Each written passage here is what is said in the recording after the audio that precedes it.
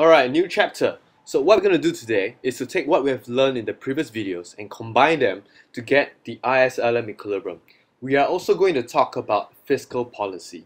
So let's begin by talking about how is the ISLM equilibrium being established. So in order to have this equilibrium in the ISLM model, you're going to need to have a simultaneous equilibrium happening in two different markets. So the first market is going to be a goods market and the second market is going to be your money market. Okay, so let's do a quick recap on how we graphically represent each of these markets. To represent the goods market, we make use of the Keynesian cross diagram, which is a graph with aggregate expenditure on the vertical axis and GDP on the horizontal axis. So uh, an intersection of a 45 degree line and the AE curve will give you your equilibrium output. As for the money market, we use a money market diagram, which is a graph with interest rates on the vertical axis and real balances on the horizontal axis. So an intersection of the demand and supply of real money is going to give you your equilibrium interest rates. So the Keynesian cross diagram can help us to derive the IS curve and the money market diagram can help us to derive the LM curve. So what we're going to do is going to combine forces of these two curves to get the IS-LM curve. To derive your IS curve, you're actually going to need a level of interest rates. Now, this level of interest rates is exogenous to the Keynesian cross diagram because it's not on the vertical nor the horizontal axis. So this is known as a exogenous variable, okay? And we're going to need this interest rate level to find your equilibrium level of output. And to derive the LM curve, you're going to need the income level, which is exogenous to the money market diagram, so that you can find your equilibrium level of interest rates. So that is how the IS curve meets the LM curve and vice versa. So the IS curve can actually provide the equilibrium level of output, pass it over to the LM side so that they can find the equilibrium level interest rates, which they will then pass over to the IS side to again find the equilibrium level of output. So this is how the two curves interact with one another.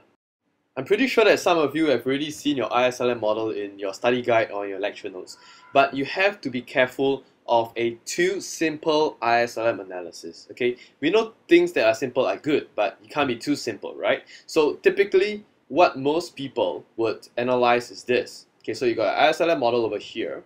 So let's say there is a um, expansionary fiscal policy, like an increase of the government spending or a reduction in the tax level. So the IS curve shifts to the right, and the new income level is Y1, new interest rates is at I1, and you're at point B. So you just say that, okay, after the uh, fiscal expansion, the economy moves from point A to point B. End of story. Well, that is not enough. Um, another, another example of this would be, okay, so you got your initial equilibrium over here. Alright, so let's say there is a monetary expansion. Okay, so the money supply increases. This causes the LM curve to shift down. Okay, so there is a higher level of income and lower interest rates. So the economy moves from point A to point B. Alright, and that's the end of your story, that's the end of your analysis. Well, this is too simple. Okay, um, this does not show much understanding of the topic. It doesn't show that you understand the mechanics of how the macroeconomy works uh, because there is no intuition. And by intuition here, I'm talking about the reasoning. What is the economic reasoning behind the movement from A to B? So what we're going to go through now is the proper ISLM dynamics. Okay, so in order to make sure you have got proper um, analysis of the dynamics, you have to consider two simultaneous dynamics at the same time. And um, the dynamics that are happening would be in the goods market as well as your money market. So you need to consider these two markets when you're talking about you know how the economy moves from point A to point B. So let me show you the detailed mechanics of how the ISLM model works and I'm also going to keep it very simple at the same time. So this is your ISLM space. To derive your IS curve, you're going to need the Keynesian cross diagram. So I'm going to draw another graph on top of the ISLM space to cater for the Keynesian cross diagram. And to derive my LM curve, I'm going to need my money market diagram. So I'm going to draw another graph on the left side of the ISLM model to make space for my money market diagram. Okay, here's a quick disclaimer before I continue. I'm sure some of you might be wondering, oh my god, do you have to draw this in the exams?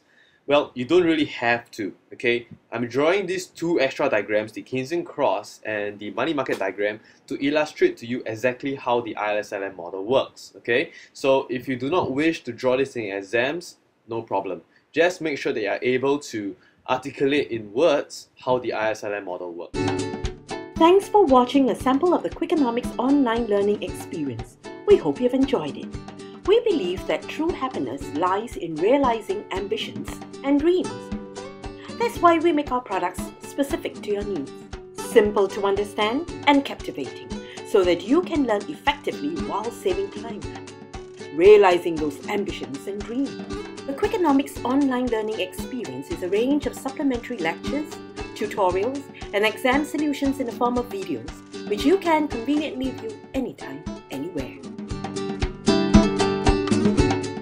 Watching our videos before and after your regular lessons at school, we aim to give you joy in learning and build academic confidence at the comfort of your own relaxed learning environment.